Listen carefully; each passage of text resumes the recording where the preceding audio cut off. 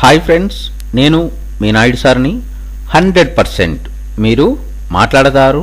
Nihali spoken English institute. ఈ వీడియోలో మనం సింపుల్ ప్రిపోషన్ అయినటువంటి బట్ గురించి తెలుసుకోబోతున్నాం. ఈ వీడియో కనుక మీకు నచ్చినట్లయితే లైక్ చేయండి షేర్ చేసుకోండి. షేర్ చేసుకోవడం వలన ఎంతోమంది ఇంగ్లీష్ రాని వారికి నిహాలి స్పోకెన్ ఇంగ్లీష్ని పరిచయం చేసిన వారు అవుతారు మీరు గనక మన నిహాలి స్పోకెన్ ఇంగ్లీష్ని మొదటిసారి చూస్తూ ఉన్నట్లయితే తప్పకుండా సబ్స్క్రైబ్ చేసుకోండి. సబ్స్క్రైబ్ చేసుకోవడం వలన మేము ఏ కొత్త వీడియో చేసినా కూడా మీ మెయిల్కి అనేది రావడం జరుగుతుంది. అందువలన తప్పకుండా సబ్స్క్రైబ్ చేసుకోండి. బట్ బట్ అంటే కానీ అని అర్థం.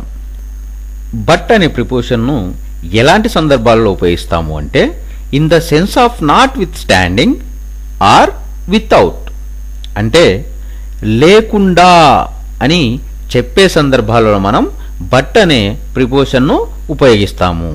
ఎగ్జాంపుల్ తీసుకున్నట్లయితే but for their support he would not have reached his goal number two to say except to say except అంటే అది తప్ప అని చెప్పే సందర్భాల్లో మనం బట్ అనే ప్రిపోషన్ను ఉపయోగిస్తాము.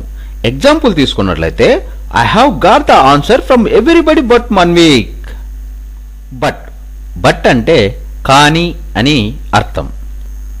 బట్ అనే ప్రిపోషన్ను ఎలాంటి సందర్భాల్లో ఉపయోగిస్తాము అంటే in the sense of notwithstanding or without అంటే లేకుండా అని చెప్పే సందర్భాలలో మనం బట్ అనే ప్రిపోషన్ను ఉపయోగిస్తాము.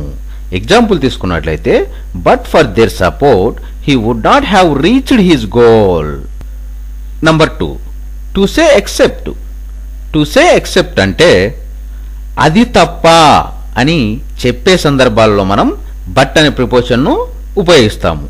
ఎగ్జాంపుల్ తీసుకున్నట్లయితే I have got the answer from everybody but one week